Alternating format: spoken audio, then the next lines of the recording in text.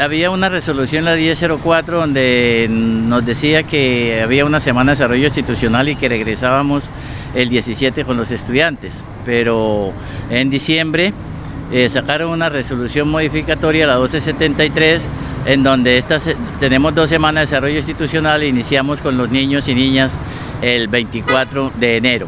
Eh, me parece pues eh, muy razonable y muy consecuente la, la actitud eso era lo que nosotros veníamos solicitando también en el sentido de que hay que tener mucha prudencia con el inicio. Eh, el gobierno nacional dice que se acabó el aforo.